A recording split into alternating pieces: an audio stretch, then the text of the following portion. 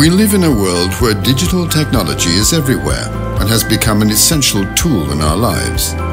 Digitalization is rapidly changing the way individuals and organizations interact, forcing us all to adapt to the new rules of this digital era. Following this trend, L'Esplanade aims to stand out among other shopping centers by offering its clients services that meet their expectations, always on the lookout for digital improvements to transform the business in order to make a difference and deliver a shopping experience more satisfying than anywhere else.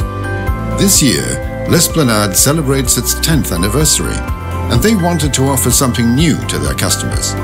So they asked Big Bad Wolf, their digital partner, to provide a thrilling and engaging experience for families coming into the malls. For this purpose, we built an augmented reality wall to project customers into a fantasy world. Dragons, unicorns, magic wands were all part of the experience. Thanks to this interactive wall, adults and children alike could immerse themselves in a world of magic simply by standing in front of the screen and moving their hands to cast spells and create magic with enchanted wands. More than 2,000 people tried the experience and 10,000 were reached through social networks. By carefully analyzing L'Esplanade's mission and need, Big Bad Wolf has succeeded in putting technology at the service of its client's brand.